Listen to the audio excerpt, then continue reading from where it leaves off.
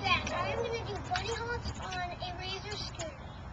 And I'll probably do five right now. And watch.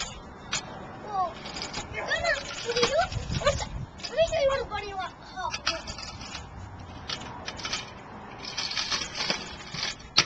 That's what bunny hops looks like.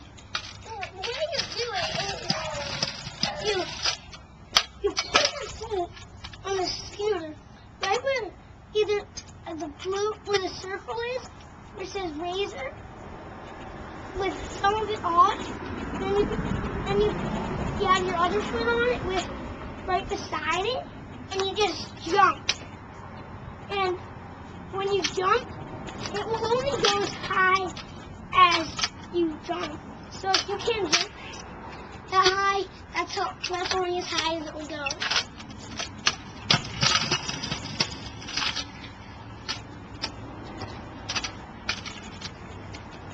This, so when you're a bunny hop like standing, you can either do it this way, practice bunny hopping.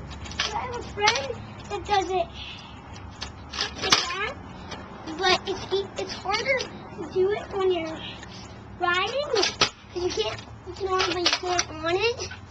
So you might want to first try pulling up and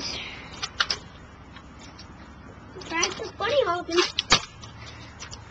And then I'm gonna show I'm gonna show some more videos.